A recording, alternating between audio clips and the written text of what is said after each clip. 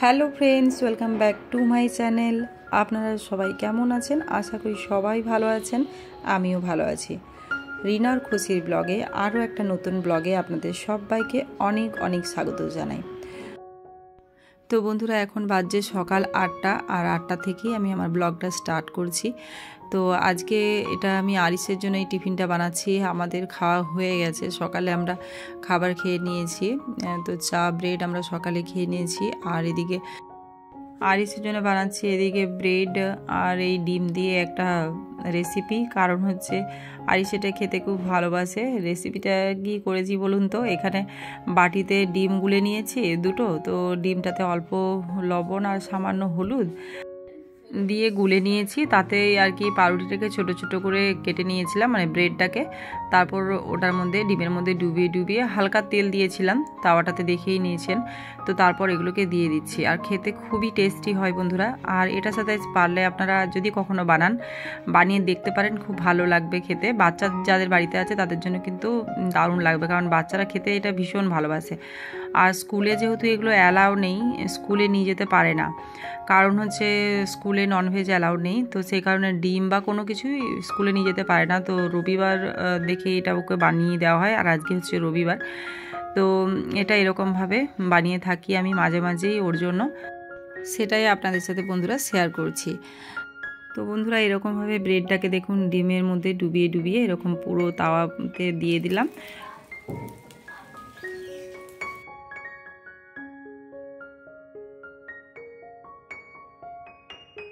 আর এখন এগুলোকে উল্টিয়ে নিচ্ছি। তো আরিসকে কিন্তু আমি এখনও বলিনি যে ওর জন্য এরকম বানাচ্ছি। তো ওকে না বলেই আর কি বানাচ্ছি। ও প্রথমে ঘুম থেকে উঠে বলে, মা ব্রেকফাস্ট কি?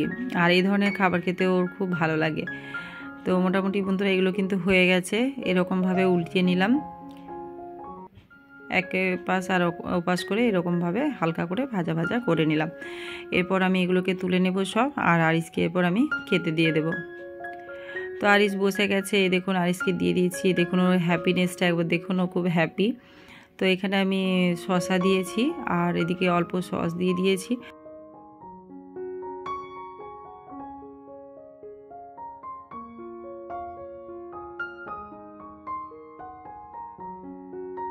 সাউন্ডটা সেই জন্য অরিজিনাল দিতে পারলাম না। আর এখানে হচ্ছে ওর বাবাকেও সাথে ও খাইয়ে দিচ্ছে। তো আরিস যাই খাক না বন্ধুরা, ওর বাবা যদি পাশে থাকে ওর বাবাকেও খাইয়ে দেবে। আবার আমাকেও বলবে, তুমি নেবে? আমি বলি, না, তুমি খাও।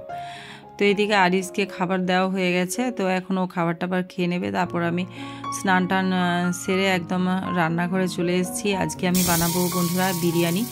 আর এই আজকের বিরিয়ানিটা আমি একদম অন্যভাবে বানাবো। তো কীভাবে বানাচ্ছি খুবই সহজভাবে আর খুবই টেস্টি হয়। তো এরকমভাবে মাঝে মাঝে আমি বিরিয়ানি বানিয়ে থাকি। খুব বেশি ঝামেলা না করে এই বিরিয়ানিটা সুন্দরভাবে বানানো যায়। তো সেটা আপনাদের সাথে শেয়ার করব। তো এখানে আমি চাল নিয়েছি। তো প্রয়োজন মতো আমরা তিনজন যেহেতু খাব, তো দুই বেলার মতো চাল নিয়েছি এখানে। আমি পাঁচশো গ্রাম মতো চাল নিয়েছি। তারপর এখানে চালটাকে ভালো করে ধুয়ে নেব।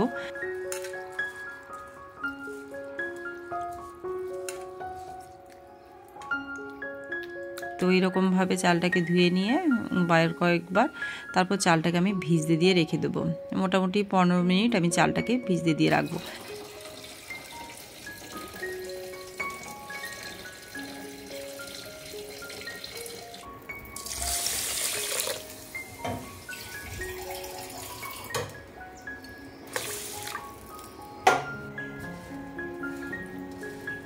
এদিকে চালটা বন্ধুরা দেখুন, এরকমভাবে আমি চালটাকে ভালো করে ধুয়ে এরকম পনেরো মিনিট মতো আমি কিন্তু চালটাকে ভিজিয়ে রেখে দেব। তারপর পনেরো মিনিট হয়ে গেলে, চালটা ভিজানো হয়ে গেলে এখানে আমি জল চাপিয়ে দিয়েছি।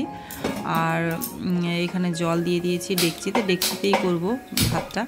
তো গ্যাসটা ধরিয়ে নিলাম। তারপর এখন আমি যে চালটা ভিজিয়ে রেখেছিলাম, সেই চালগুলো এরপর দিয়ে দেবো।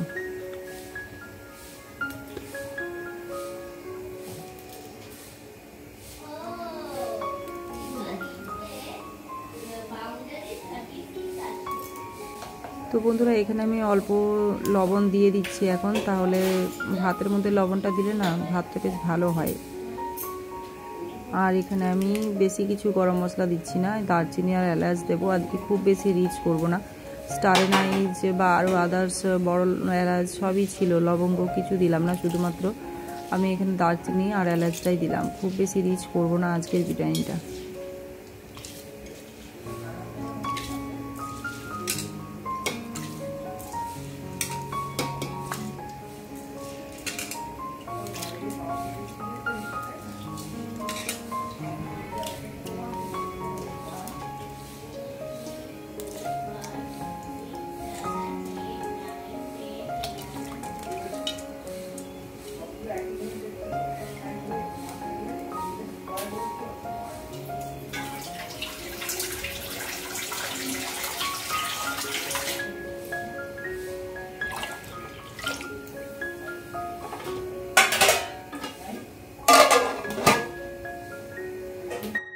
আর চালটা যেহেতু ভিজিয়ে রেখেছিলাম বেশিক্ষণ কিন্তু সেদ্ধ হতে লাগেনি ভাতটা হয়ে গেছে। তো ভাতটা আমি ওখানে জল ঝরতে দিয়ে তারপর থালাতে কিন্তু ভাতটাকে আলাদা করে রেখে এসেছি। তাহলে বিরিয়ানির ভাতটা ঝরঝরে হবে। আর এদিকে আমি বিরিয়ানির জন্য মশলাটা রেডি করে নেব। এখানে আদা রসুন আর পেঁয়াজ নিয়ে এসেছি। আর অন্যদিন বেরেস্তা দিই বিরিয়ানিতে তো আজকে আমি বেরেস্তা দেবো না তো আজকে একটা পেঁয়াজ নিয়েছি। তো মাংস আছে ছশো গ্রাম আর একটু বেশি মাংস আছে। তো ছশো গ্রাম মাংসতে এখানে আমি রসুন, আদা সেরকম পরিমাণে নিয়েছি। আর রসুনটার পরিমাণটা একটু বেশি দিই, তাহলে কিন্তু ভালো টেস্ট হয়। আর পেঁয়াজ একটা দেব। আর পেঁয়াজটা এখানে বেরেস্তা আজকে আর বানাবো না। তো আমি একদম মাংসতে আর কি পেঁয়াজটা দেবো, আর টেস্ট কেমন হয় সেটা দেখা যাবে। তো এরকমভাবে আমি পেঁয়াজটাকে এখন ছাড়িয়ে নিচ্ছি তারপর পেঁয়াজটাকে আমি কেটে নেব।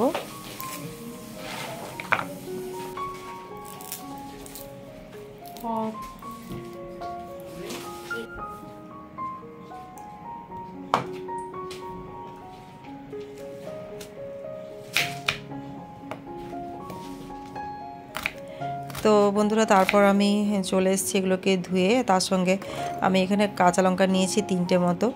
আর এদিকে আমি মিক্সি করে নেব এটাকে। আর এখন এদিকে আমি যে মাংসটা ছশো গ্রামের একটু বেশি, ছশো গ্রাম একটু বেশি মাংস আছে। তার মধ্যে আমি এখানে হলুদ, তারপর হচ্ছে প্রয়োজন মতো লবণ, আর ওইদিকে আদা, রসুন, কাঁচা লঙ্কা যে একটা পেস্ট বানিয়ে রেখেছিলাম সেটা দিয়ে দিলাম।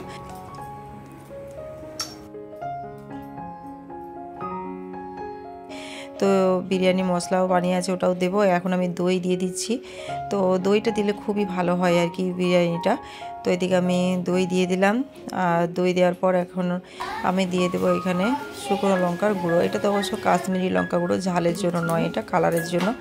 আর এখানে আমি দিয়েছি বিরিয়ানির মশলা। তখন আমি ভালো করে এগুলোকে মেখে নেব। আর বন্ধুরা আগেই বললাম যে বিরিয়ানির মশলা কিন্তু আমি বাইরে থেকে কিনি না, বাড়িতেই বানিয়ে রাখি। তো অনেকটাই একবারে অ্যাট এ টাইম আমি অনেকটাই বানিয়ে রেখে দিই। এখন এদিকে আমার বিরিয়ানির মশলা টশলা সব মাখিয়ে ওটাকে আমি ম্যারিনেট করতে দিয়েছি।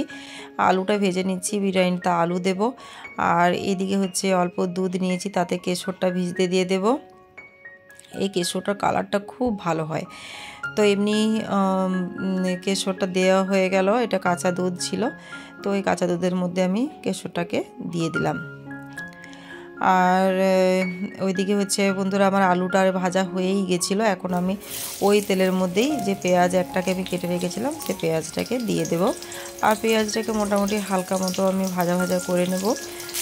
খুব কম ভাজা নয়, মোটামুটি একটা ভাজা করে নেব। ব্রাউন ব্রাউন হবে, সেরকম মতো আমি পেঁয়াজটাকে ভেজে নেব। আর সব সময় বিরিয়ানি করলে বন্ধুরা আমি বেরেস্তাটা দিয়ে থাকি, তো এইবারে বেরেস্তাটা দিচ্ছি না। ভাবছি এরকমভাবে একটু বানিয়ে দেখি কেমন হয়। তো তারপর এরকম হালকা ব্রাউন হয়ে যাওয়ার পর আমি যে ম্যারিনেট করে রেখেছিলাম, মাংসটা মোটামুটি আমি এখানে ওই কুড়ি মিনিট হবে, পনেরো কুড়ি মিনিট হবে মাংসটাকে ম্যারিনেট করে রেখেছিলাম। তো তারপর সে ম্যারিনেট করা মাংসটাকে আমি দিয়ে দিলাম। ম্যারিনেট করলে কিন্তু মাংসের টেস্ট কিন্তু খুব ভালো হয়। আধ ঘণ্টা করে রাখতে পারলে খুবই ভালো হয়। তো আজকে আবার একটু তাড়াহুড়োই করছিলাম। তো তাড়াহুড়োর জন্যই আর কি বেশিক্ষণে ম্যারিনেট করে রাখিনি। পনেরো মিনিট একটু বেশি হবে কুড়ি মিনিট মতো আর কি ম্যারিনেট করে রেখেছিলাম। তো তারপর আমি এটাকে এরপর মাংসটাকে কষিয়ে নেব। তো বন্ধুরা, বিরিয়ানি খেতে কিন্তু আমার ফ্যামিলির সবাই ভালোবাসে। আমার ছেলে, আমার হাজব্যান্ড দুজনেই ভীষণ ভালোবাসে। তো সেই জন্য চেষ্টা করি ওদেরকে, ওদের মনের মতো খাবার বাড়িতে বানিয়ে দেওয়ার। তো বন্ধুরা, আপনারা কি কীভাবে বিরিয়ানি বানান আমাকে কমেন্ট করে জানাতে পারেন এবং আমিও চেষ্টা করব সেরকমভাবে বানানোর। আর আমার এই যে বিরিয়ানি বানানো, আপনাদের কেমন লাগছে সেটাও কমেন্টে জানাবেন এবং আমার ভিডিও ভালো লেগে থাকলে সবাই কিন্তু পাশে থাকবেন বন্ধুরা। অনেক নতুন বন্ধু এসে আমার ভিডিও যদি দেখছেন, তাহলে অবশ্যই লাইক করে ভিডিওটি দেখা শুরু করবেন এবং পুরনো বন্ধুদের তো সবসময় অনেক অনেক ভালোবাসা, নতুন বন্ধুদেরও অনেক থ্যাংক ইউ এবং ভালোবাসা পাশে থাকার জন্য। তো বন্ধুরা, একটা টাইমে তো ভিডিও দেওয়া উচিত। তো আমার প্রত্যেক দিন একটা টাইমে ভিডিও দেওয়া হয়ে উঠছে না। এডিট করার সময় একটুখানি মুশকিল হয়ে যাচ্ছে, সময় পাচ্ছি না বন্ধুরা, তো একটু মানিয়ে নেবেন। বারোটা থেকে ছটার মধ্যে আমি এনি টাইম ভিডিও আপলোড করব, তো আপনারা আমার পাশে থাকবেন। আর এদিকে হচ্ছে, দেখুন বন্ধুরা, এরকমভাবে আমি বিরিয়ানির যে মাংসটাকে কষিয়ে নিচ্ছি। আর মাংস বা আলু একসাথে আর কি কষাচ্ছি, এটাকে এখন অল্পক্ষণ আমি ঢাকা দিয়ে দেবো। আর ঢাকা দিলে কি হবে? সেদ্ধ হবে। আর অল্প আমি ঢাকাটা খুলেও নেব, কারণ মাংসটা যদি নিচে ধরে যায়, তাহলে কিন্তু একদম সব গন্ডগোল হয়ে যাবে। একদম অল্প মোটামুটি একটা একদম লো ফ্লেম নয়, মোটামুটি একটা ফ্লেমে আমি এরকমভাবে মাংসটাকে কষিয়ে নিচ্ছি।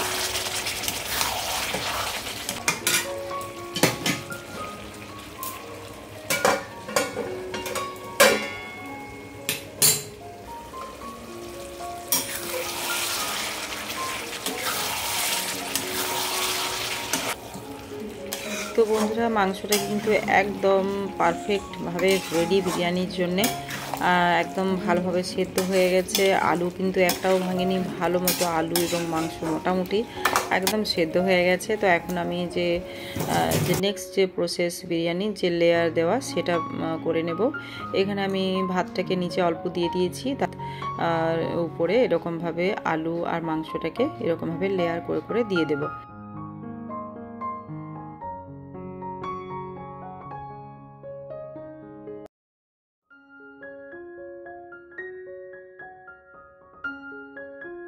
আর মাংসটা দেওয়া হয়ে গেলে তারপর উপর থেকে এরকম ঝরানো যে জল ঝরানো ভাতটা ছিল, সে ভাতটা দিয়ে দেব।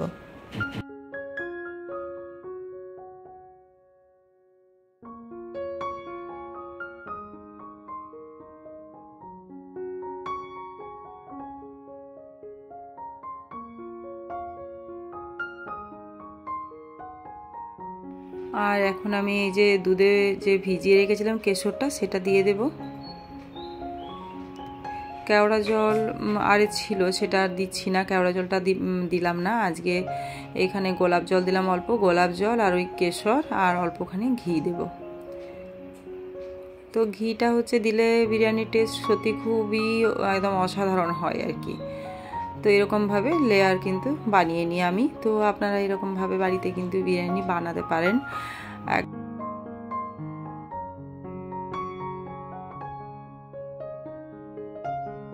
চার একটা লেয়ার করব। মাংসটা এখনও রয়েছে। তো বিরিয়ানি বানালে বন্ধুরা সকালেও হয়ে যায় মানে দুপুরের লাঞ্চে হয়, আবার রাত্রেও হয়। আর এটা হচ্ছে বানাচ্ছি, তো আজকে দুপুরের খাবারও হয়ে যাবে, আবার রাত্রেও হয়ে যাবে। আর এর সাথে, বিরিয়ানির সাথে হচ্ছে রায়তা বানিয়ে নেব, স্যালাড। তো আরও একটা লেয়ার দিয়ে দিলাম।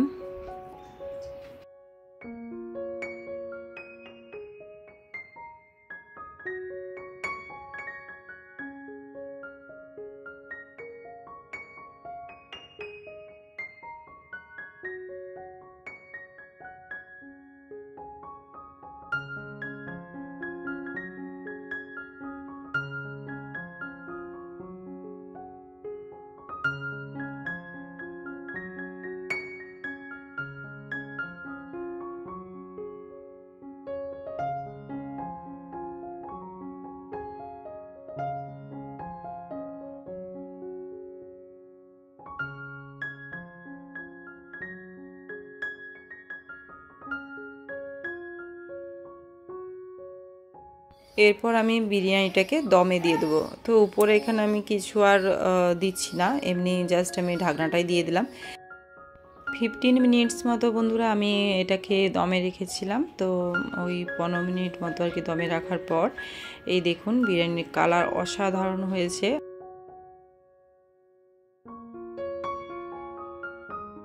তো এদিকে হচ্ছে আরিসকে খাবার দিয়েছি আরিসের পাপাকেও খেতে দিয়েছি, ওরা খাচ্ছে, ওরা খাবার খেলে তারপর আমি খাব। তো বন্ধুরা, আজকের ভিডিওটা এই পর্যন্তই। যদি ভালো লেগে থাকে, অবশ্যই লাইক কমেন্ট শেয়ার করবেন। Thank you so much for watching